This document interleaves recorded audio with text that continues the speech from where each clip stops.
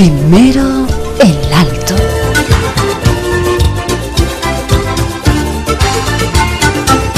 Marca agenda en un tema que está relacionado con los medios de comunicación, medios fundamentalmente privados.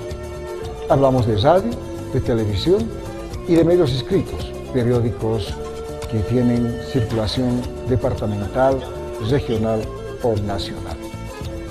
En las últimas horas, el presidente, este lunes, el presidente Evo Morales Sáenz, que las horas allá en la Casa Grande del Pueblo, denominado así, bueno, para nosotros conocido como Palacio de Gobierno, es decir, se promulgó la Ley 1197. Una ley que los medios de comunicación recuperamos, recuperamos aquello que había sido impuesto por el gobierno central a través de varias leyes, 11, 12 leyes, entre ellos también algunos decretos supremos, donde a los medios nos obligaban de forma gratuita a pasar publicidad que está relacionado precisamente con el andamiaje del gobierno central. Es decir, imposición fuera de la norma constitucional.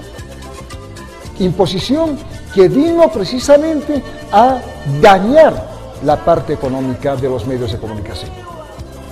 Y entonces no hubo peleas eh, frontales de decir esto uno, sino se buscó la parte del diálogo.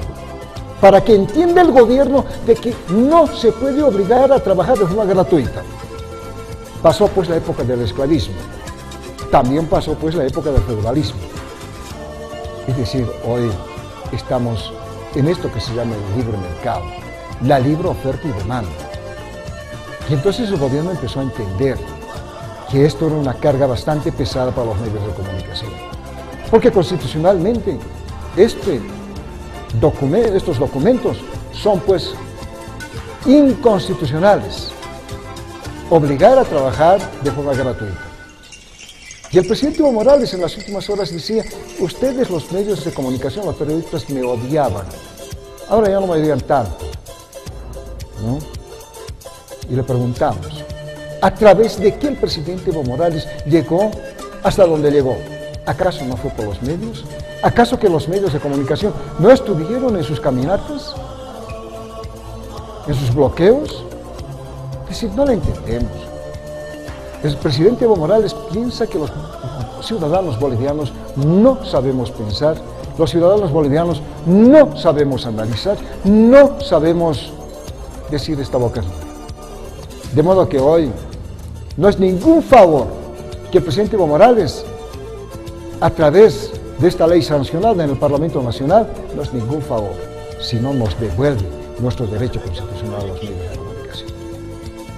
Y lo tenemos que mencionar, y lo tenemos que decir de este pasadísima de televisión, fundamentalmente de este primer radio un tema que seguramente esto no implica a que los medios de comunicación, en el caso particular de Pasadísima, dejen de seguir apoyando a temas que son de vital importancia para la sociedad. Es el caso, por ejemplo, de los feminicidios.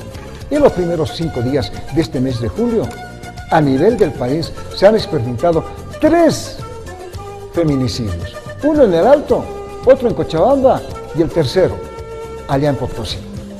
Preocupante, sí, ¿Que hay preocupación? Sí. ¿Que debemos preocuparnos todos? Sí.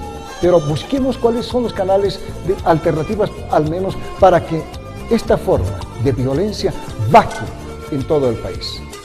Es decir, el trabajo debe ser con ideas imaginativas y creativas y no, no con aquellas imposiciones que sí o sí lo tenemos que hacer. Ojalá decimos de que en adelante el mismo presidente Evo Morales, su gabinete, sus sus diputados, senadores, sepan lo que están haciendo y no vulneren derechos constitucionales de empresas, de personas y de la sociedad boliviana en su conjunto.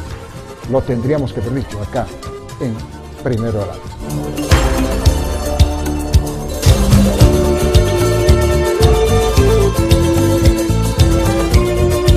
Primero el alto.